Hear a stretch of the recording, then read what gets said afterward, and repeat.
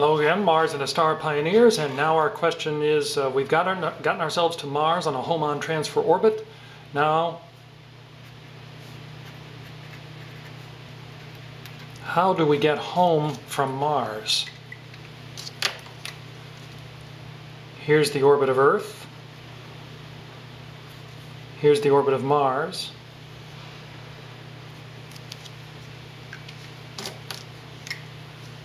Here we are and we want to depart from Mars and we're going to take a Hohmann transfer orbit that's half of an ellipse and we're going to go around like this and just meet Earth's orbit right when Earth is there.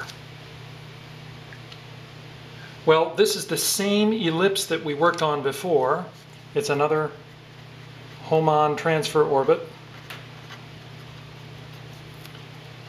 And we figured out before that that particular trip takes 0.7 years. Doesn't matter which half of the ellipse you're doing, it's 0.7 years if you're going from the farthest part from the sun to the closest part. Well, we cannot depart from Mars when Earth is here because by the time we get there, Earth will have moved on to someplace else.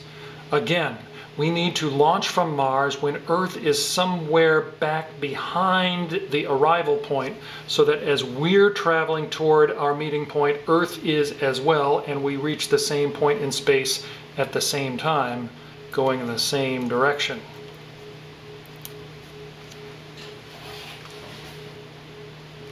So our question could be,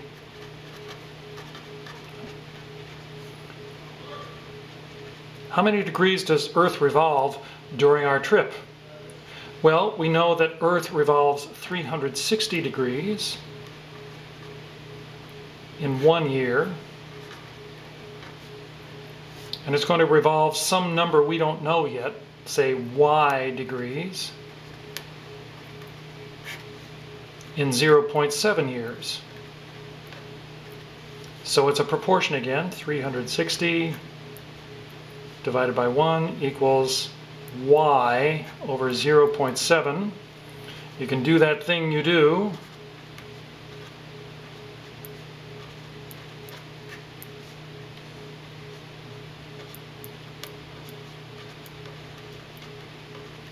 And we find that while we are traveling, Earth will revolve 252 degrees in its orbit.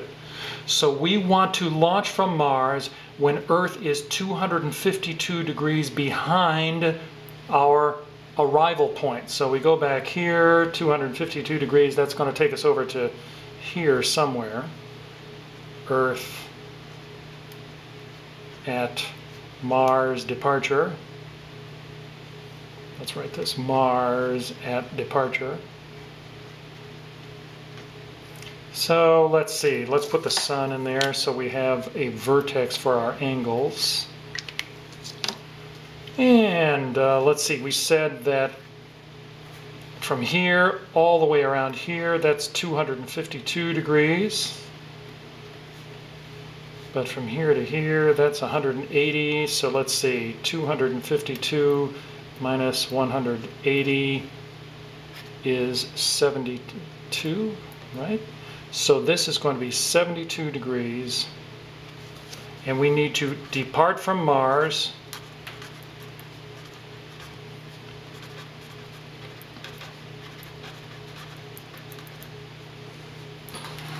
when Earth is 72 degrees behind us. Come on in.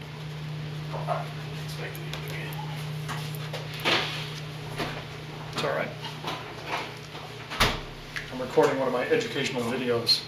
We can edit, we can cut it out later. Sorry for the interruption. No problem. So we need to depart from Mars when Earth is 72 degrees behind us. Then, as we're traveling, Earth will be traveling as well, and we will both arrive at the same point at the same time and have a happy homecoming.